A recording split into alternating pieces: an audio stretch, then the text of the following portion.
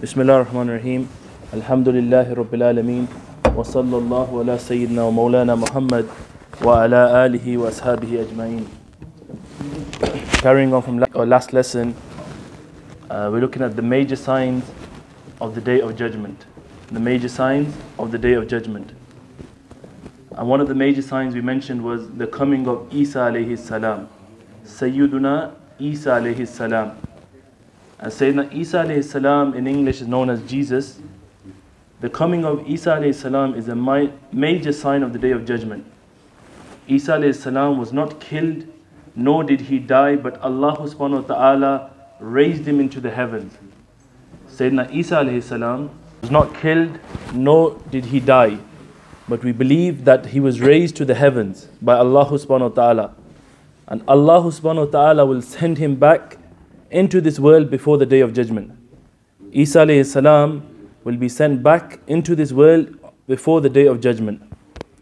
And our Prophet Muhammad alayhi salatu wasalam, he mentioned during the Miraj, the Miraj of the Prophet sallallahu I met Isa alayhi salam on the second heaven, and I found him of medium stature and reddish white compl- uh, complexion.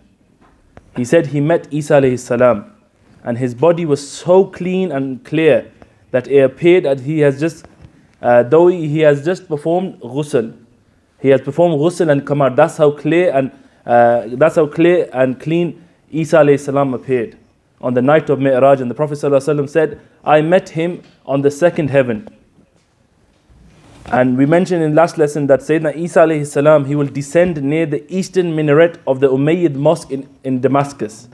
Sayyidina Isa alayhi salam, he will descend near the, he will descend on the eastern minaret of the Umayyad mosque in Damascus in Syria, wearing two yellow sheets and leaning on the shoulders of two angels.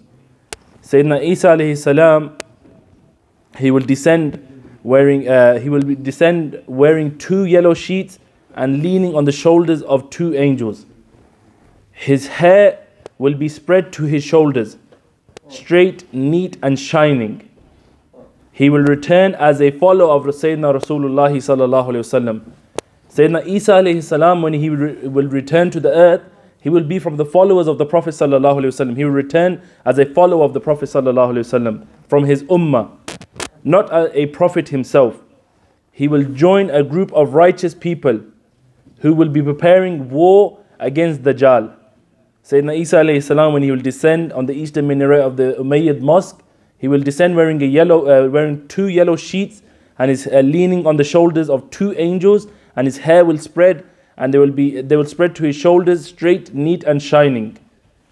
And he will return as a follower of the Prophet wasallam, and when he will descend he will join a group of righteous people, people who will be preparing for war against Dajjal.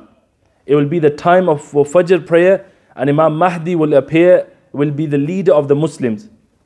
It will be the time of Fajr, and Imam Mahdi alayhi salam, he will be he will be the leader of the Muslims, and suddenly they, a voice will be heard saying, "One who listens to your pleas has come.